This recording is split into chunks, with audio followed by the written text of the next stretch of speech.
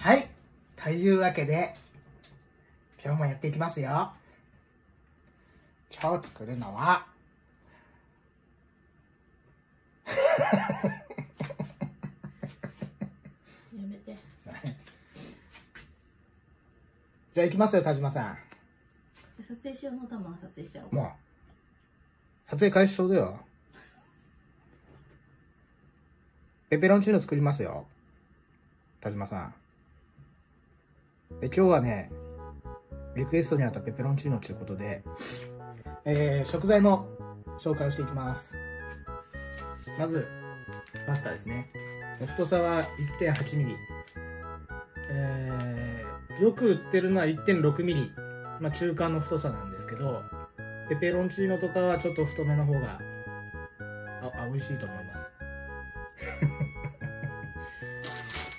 こういった細めもあるんですけどね。こういうのよりは太めの方がいいですよ。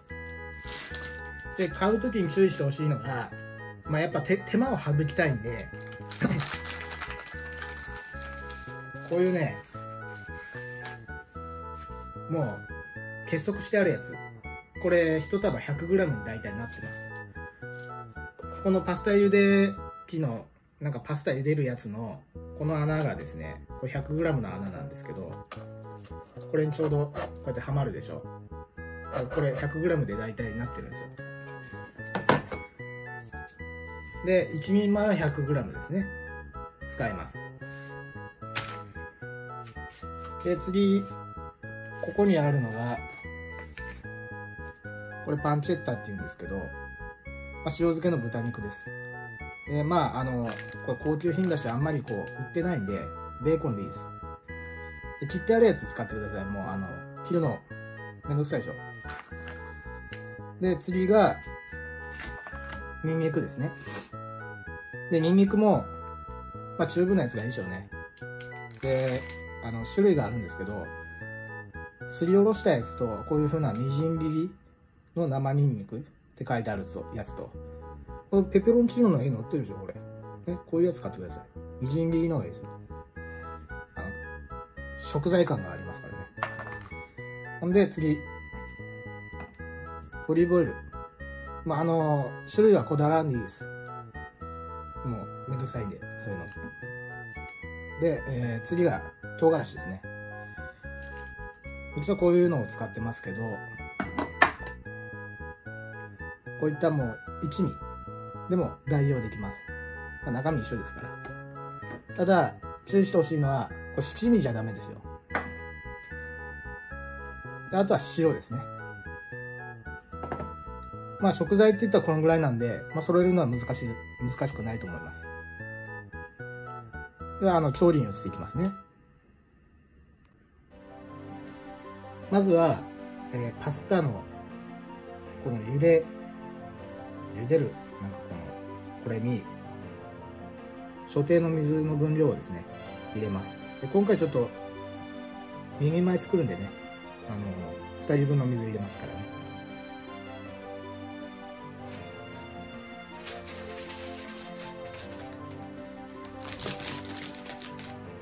はい水入れました。そうしたらパスタをこうやって。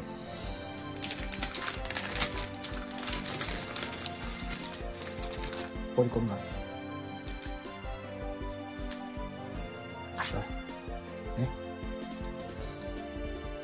でここに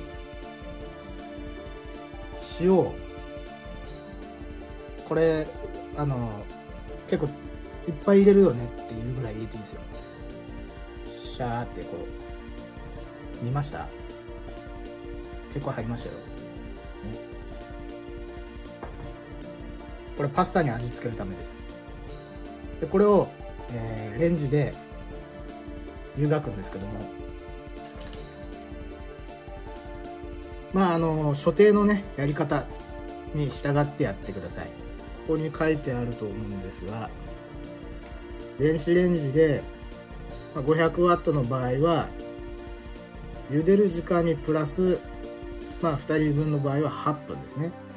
とするとこれもともと茹で時間11分ですから19分。ちょっと時間かかりますけど、まあ鍋でやるのと変わんないですね。その辺は。でやっていきます。じゃあフライパン調理の方に入っていきますからね。これはもうあの茹でてる間にやりましょうね。17分あるんで。あ？19分？19分あるんで。でまずはオリーブオイル。ねドボって入れてくださいこれ。もうちょい入れていいかな？これ2人前なんでね。1人前の場合はもうちょっと少なくていいですよ。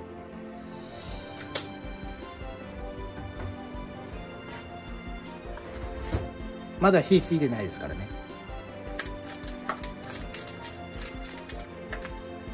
次にんにく油の中に落としてください。にんにくねいっぱい入れた方が美味しいですよ。はい。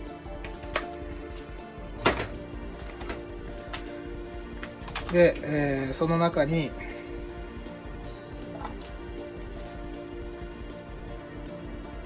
唐辛子。もうこの辺これはお好みでいいです。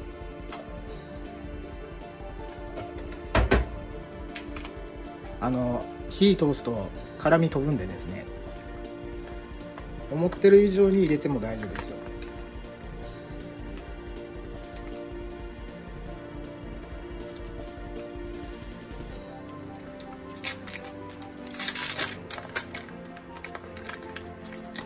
もう火止めてる状態でですねこのあのベーコンこれパンチェッタですけどまあベーコン入れていいです。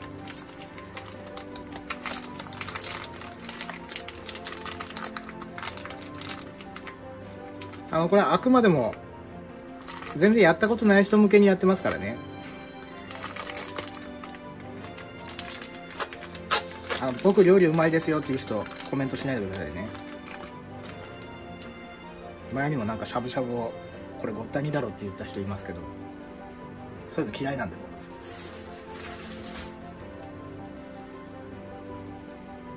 じゃあ火つけますよ。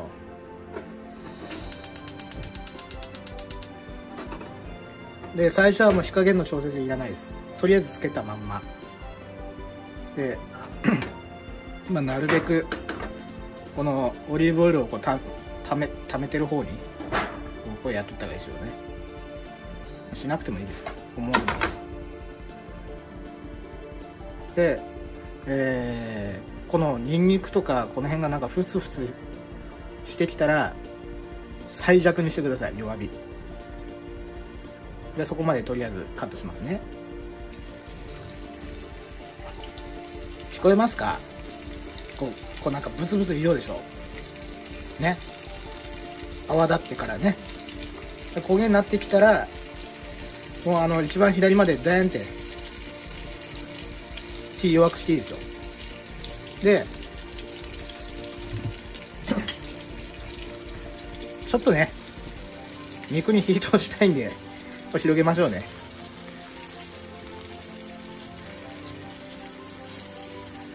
ベーコンとかはねあのもともと火通ってるから別にいいんでしょうけど。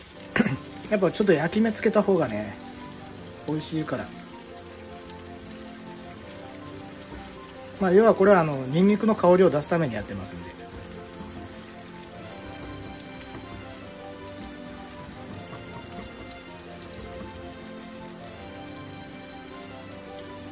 じゃあもうちょっと良きところまでカットしますね。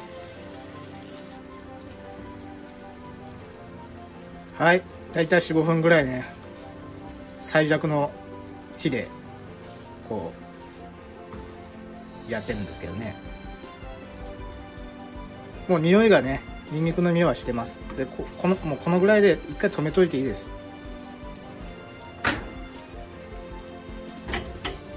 火止めますね。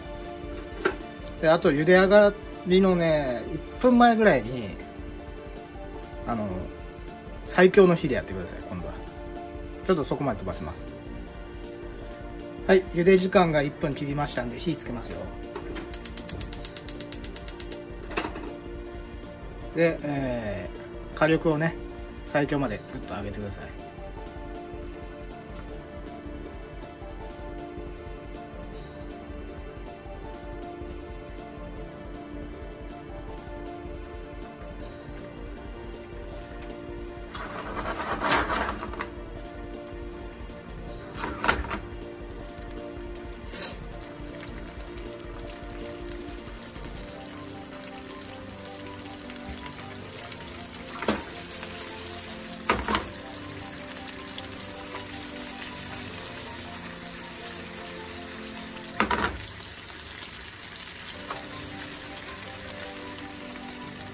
で焦げやすくなるんでねこう注意してくださいね。もう火からちょっと上げたり下げたりしてもう場合によってはこっち置いたりね。茹で上がりましたんで。こう茹で上がったらこう蓋してねこうこう湯切り口あるんでここからお湯捨ていき捨てていきますね。であのー茹で汁は取っとかなくていいです。もう全部捨てて。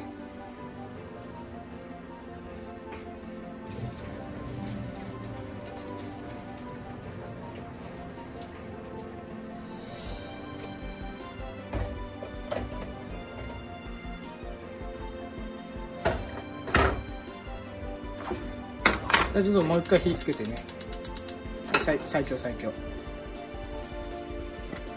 ここ入れます。はい。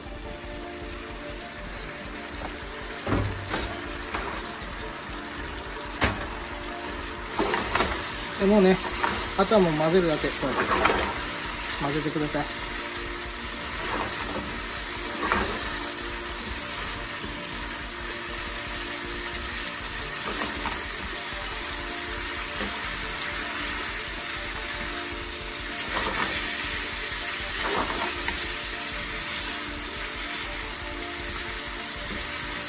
でこういい具合いい具合にこう混ざったら一応ね念のためこう味見してください。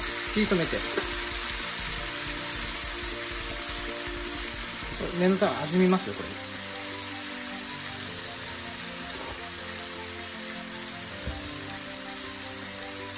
れ。でこう塩足らんねえって味にパンチがないねと思ったらもう塩振ってください。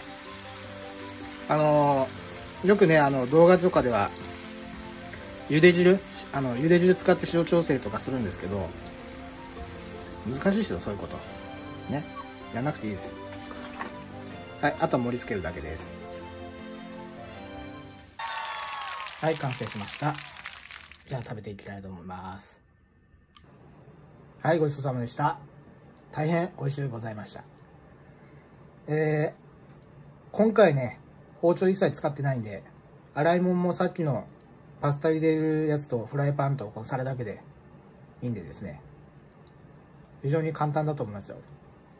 で、あの、見よう見まねでやってもね、それなりの味になるんで、まあ、まずはチャレンジしてみてください。ではまた。